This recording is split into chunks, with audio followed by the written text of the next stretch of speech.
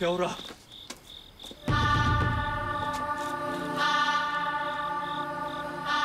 이달 지금 여기 있어?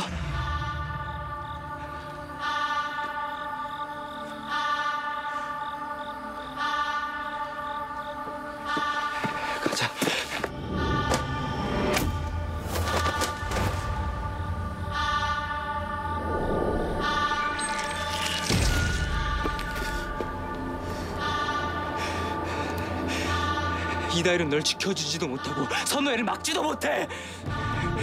그리고 만약 정여울을 마주치게 되면 꼭 말해줘.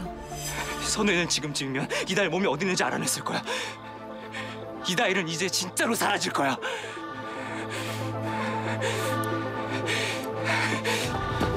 나 가자 누나. 내가 지켜줄게. 내가 지켜줄 수 있어.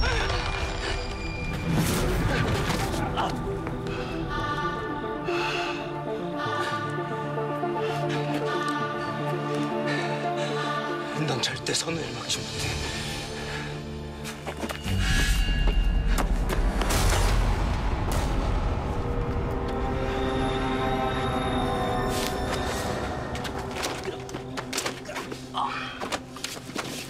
빼요 이다일 씨 그만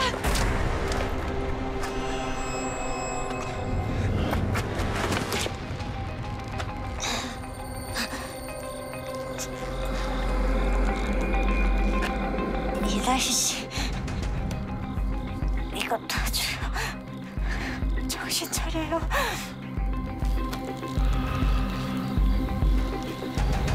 화났어?